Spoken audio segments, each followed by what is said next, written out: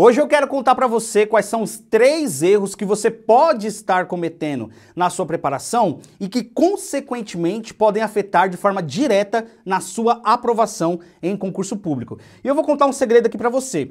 Esses três erros que eu vou falar no vídeo de hoje, cara, eu também cometi lá atrás, em meados de 2012, quando eu comecei a me preparar para provas de concurso público. Por isso que eu decidi gravar esse vídeo, bater esse papo bem sincero aqui com vocês, para que vocês não possam cair nas mesmas armadilhas que eu caí lá atrás no início de tudo. Então, se o assunto do vídeo te interessou, por favor, já deixa o seu like aqui embaixo e se inscreve nesse canal, acionando o sininho de notificação para você não perder nenhuma novidade dos próximos vídeos, beleza? Outra coisa que eu vou pedir para você é desculpa. Por quê? Porque eu tô de touca, eu tô de blusa, cara, tô muito bem agasalhado, porque tá um frio, cara, que, sabe, um frio escrumunal aqui em São Paulo, e no escritório eu não tenho aquecedor, e se eu não tiver de blusa, de touca, muito bem agasalhado, vou ficar tremendo de frio trocando essa ideia aqui com você. Mas, é, garanto para você que o conteúdo de hoje vai virar a chavinha da sua cabeça e você vai sair muito mais bem preparado depois desse vídeo. Fechou?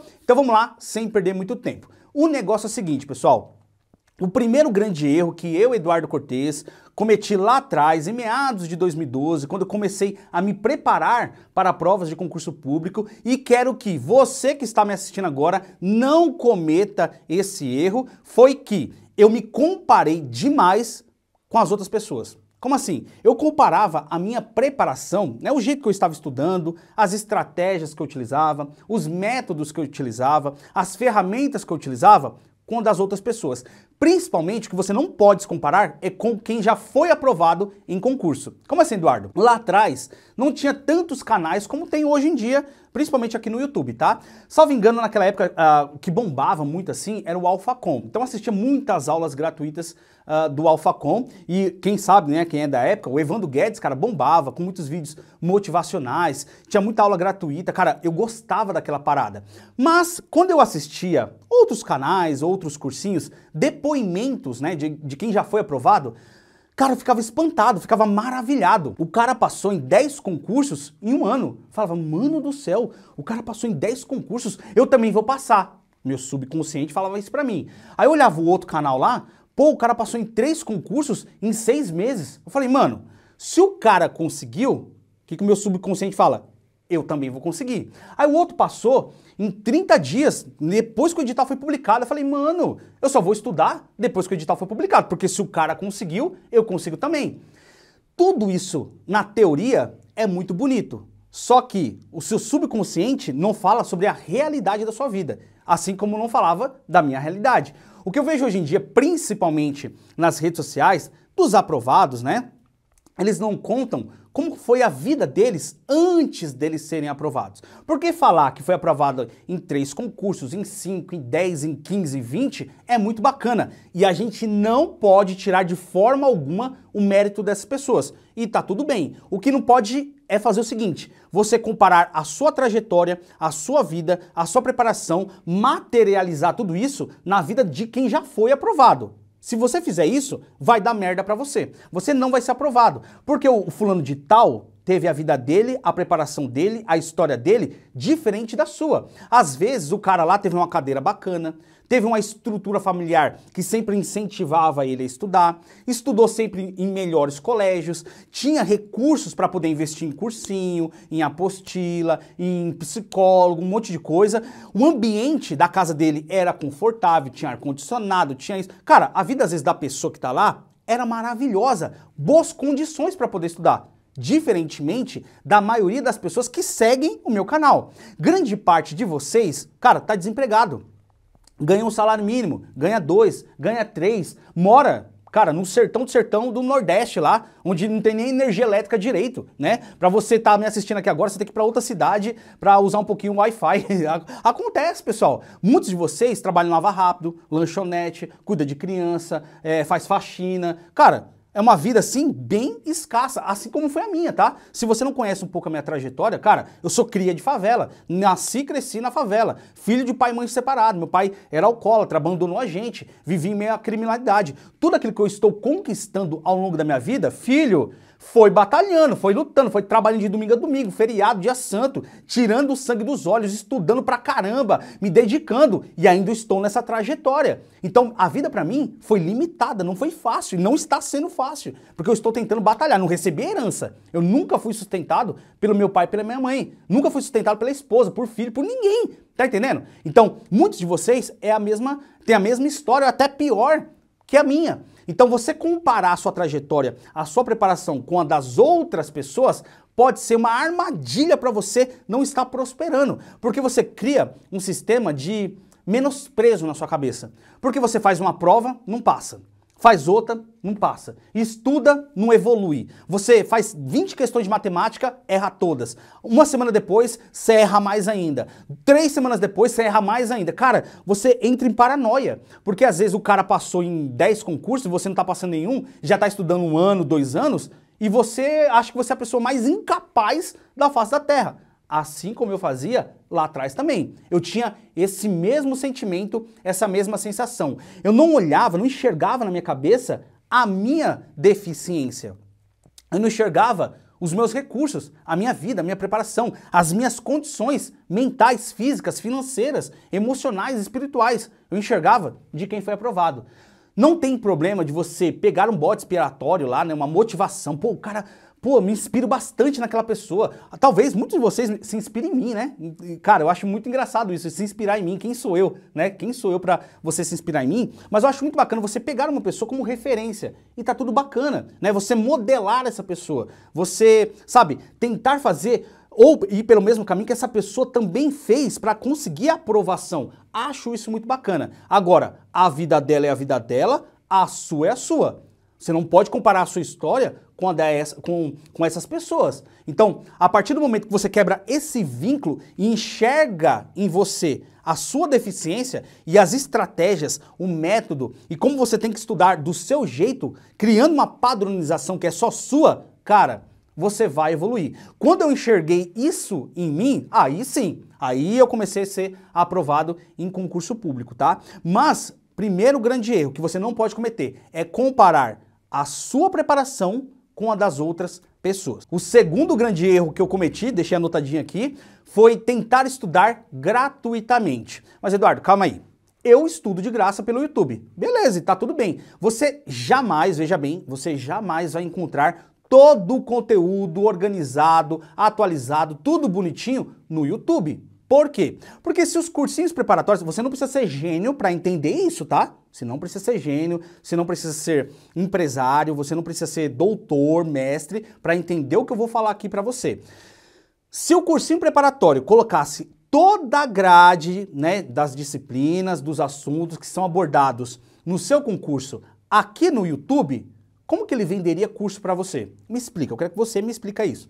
Você não precisa ser gênio. Alguma coisinha ou outra você consegue. Ah, Eduardo, tô vendo aqui um português. Bacana. Uma matemática. Ok. Uma informática. Legal. Não de forma talvez estruturada, do jeito que você queria, mas você vai, sabe, pingando ali, pingando aqui, você consegue montar ali alguma, algum, algumas aulinhas, né? Só que quando tem matérias específicas, né? Direito administrativo, direito constitucional, legislação do órgão tal, e é isso e aquilo, começa a dar merda você perde muito tempo. E eu perdia, deixa eu falar uma coisa pra você. O que eu perdia de tempo, muito tempo, caçando material na internet não era brincadeira. E eu ia no Google, e eu ia nos fóruns, né? Naquela época era muito fórum, eu ia no YouTube, eu ia aqui ali. Cara, só o tempo que eu gastava procurando essas migalhas de disciplinas, de assuntos, eu perdi, ó, perdi na verdade anos para poder ser aprovado em concurso. Ah, Eduardo, mas você não conhece a minha condição. Eu tô na merda, tô desempregado, eu sustento é, filho, tenho esposa, é isso. Cara, eu sei de tudo isso.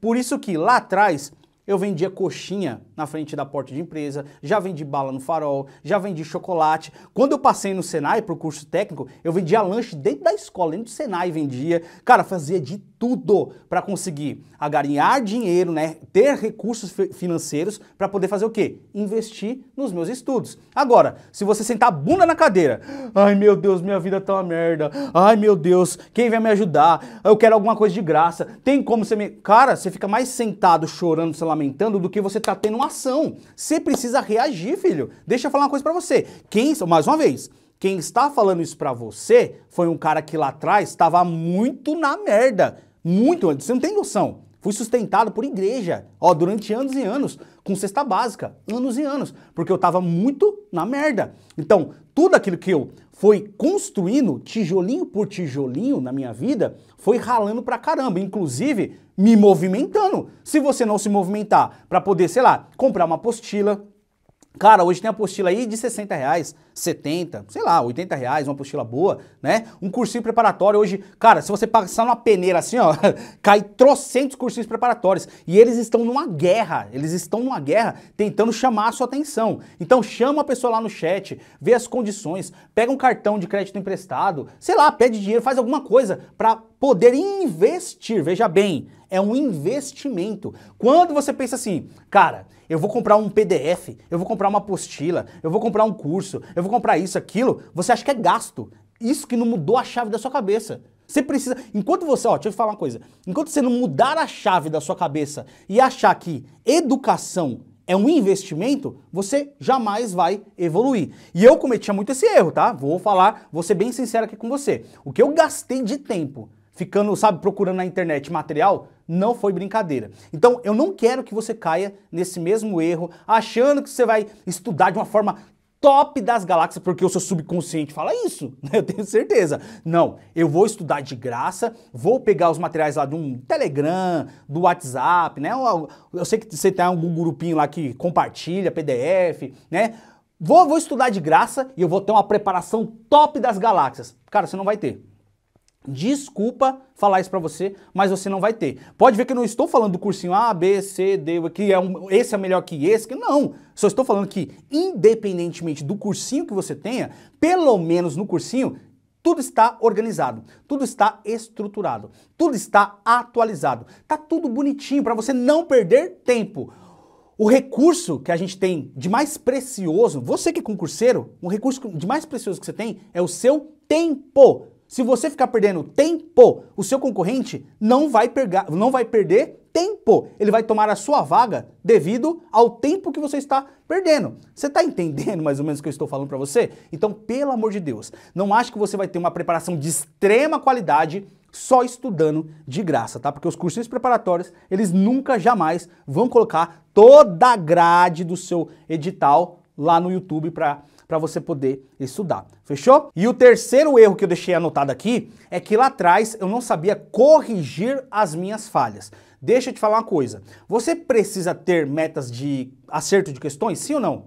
Claro que sim. E eu tinha essas metas. Ó, toda prova que eu ia fazer, ou quando eu ia fazer um simulado, ou uma bateria de questões, ou ia realizar uma prova de concurso público, eu tinha que tirar no mínimo 90% da prova, de acerto, tá? Isso era no mínimo. Esse era o meu objetivo, a meta que eu tinha de acerto, ok? Óbvio que nem sempre a gente tirava. A gente, sei lá, eu tirava lá 70%, 80%, 75%, às vezes variava, né? 76, 83, variava muito. Mas eu tinha essa falha, eu não corrigia os meus erros. Então, por exemplo, se eu ia lá e fazia uma prova de concurso e tirava 70% de acerto, bacana.